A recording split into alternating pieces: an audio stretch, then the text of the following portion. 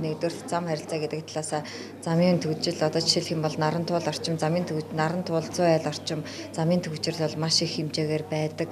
А нэгдүгээрт хоёрдугаарт болохоор бас хөрсний бохирдол их хэмжээгээр байгаа гэсэн мэрэгжлийн хэлтийн байгууллагын судалгаа зэргийг үндэслээд ер нь бол томоохон худалдаа үйлчилгээний төвөдөө хотоос гарах зүйтэй юм а гэсэн санал бол тавигдаад энэ тал дээр бол ерөнхий төлөвлөгөөний газраас төлөвлөгөө боловсруулад ажиллаж байгаа.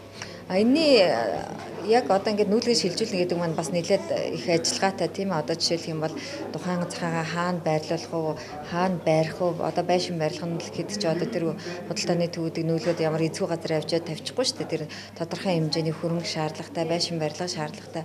Тийм учраас энэ дээр бол ерөнхий төлөвлөгөөний газар төлөвлөгөө гаргаад ажиллаж байгаа.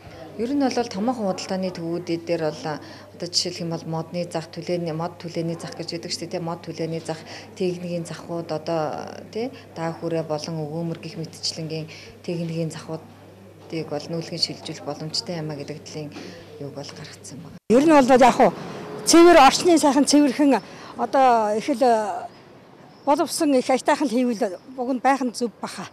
Тэгэхээр энэ дээш хойтлын хүч цонхор харин жоохон тиймэрхүү харагддаг заавал замын хажууд байх нь онцгой шваха гэж бодогддог. Ер нь гэхдээ хүний хэрэгцээний юу шүү дээ.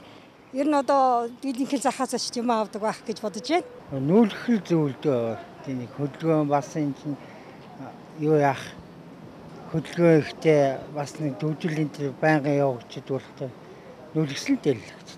Хотоосоо жоохон зайдах энэ юунасаа жоохон холдуур тавил зүгээр ах.